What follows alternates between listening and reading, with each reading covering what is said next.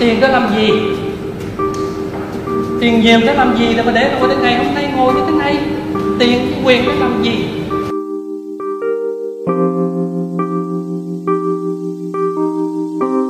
Tôi chưa bao giờ nghĩ rằng nói là đẩy các con tôi đi đâu hết.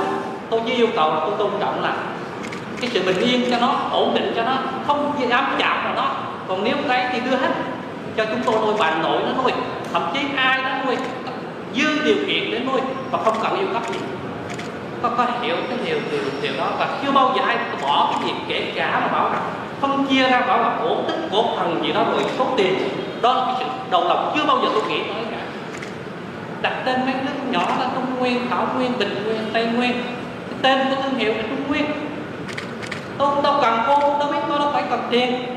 20 năm em em em chửi cho mình nhìn lại đâu thôi tôi đâu có quản lý cái gì tiền bạc gì đâu quản lý gì, kể cả tài sản cũng có quản lý gì, tên lính tất cả những cái gì, trừ cái cổ phần. Của chúng ta nhưng mình thấy là mình phải hiểu rồi nó là cái gì cái đã. Nguyên cớ, nguyên nhân không phải. Dữ tợn. Một người phụ nữ không phải một sớm một chiều mà dám làm và biết làm những chuyện đó. Cái nguyên cớ, nguyên nhân của các mục sinh phải hiểu nếu giả sử như, tôi giả sử như những cái gì nó diễn ra và các luật sư đã biết, nếu là người vợ của mình mình có cất giọng mình nói được những cái điều giống như và và đẩy về cái của chúng. Về tôi và và cả cái tập thể này. Không không có không ai không ai không ai. Kể cả một số luật sư trước kia bào chữa rồi tham gia khi ta hiểu là bản chất nó khác. Kể cả những người anh em lãnh đạo cao cấp của chính phủ kể cả những người cơ quan chức năng cảnh sát bộ công an cái lệ bên an ninh cũng vậy mình cho những thông tin mình tạo nó đúng việc khi người ta vô người ta điều nghiên điều tra tháng này qua tháng kia là có những mức tê liệt đấy phải có cái luật mình không phải đi nói như thế này.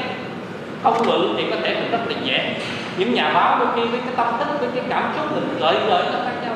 Nhưng sống vợ chồng sống bằng cái lòng nó không sống bằng cái giả bên ngoài nữa.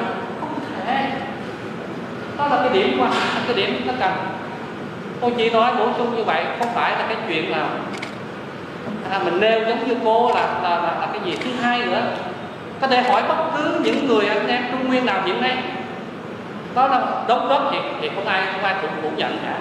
Nhưng bảo rằng là quan trọng là là linh hồn là điều khiển hết người ta cười lề người đây ai trong cái tổ chức này kể cả các em các cô cô mà đó không ai có đóng góp. Bằng chính bây giờ tôi đã nói rồi, hãy lùi về đi, trung nguyên á, đến ngày hôm nay có cô đó có sao? Và thậm chí tôi điều khiển từ xa không có sao cả. Tôi nói sao?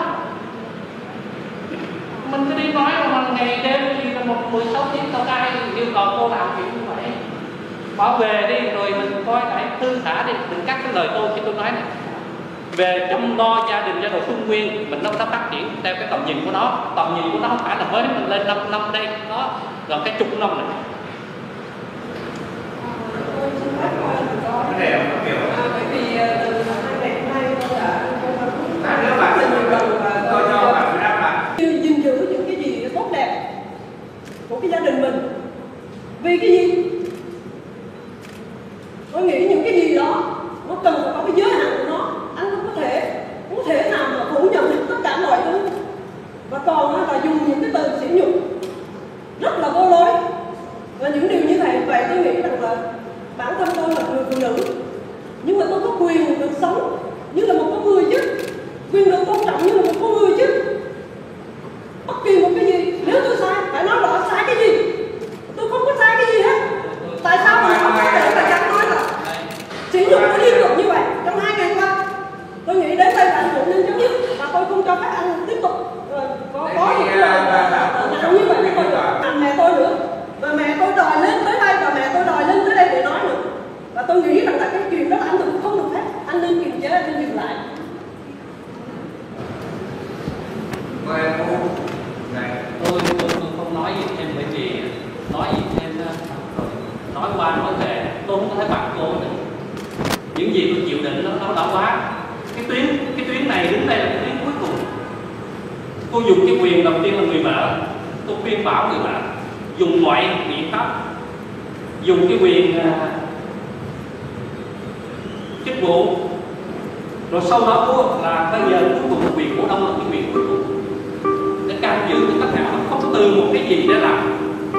Mình nhìn lại cái bản tâm của mình còn quay đầu lại. Tôi đã làm tất cả mọi thứ có thể. Thậm chí là kể cả cái chuyện phải đòi hỏi tôi là phải ờ, về nhà. Tôi chưa bao giờ tôi hình dung được là để ra đây là bảo nói cái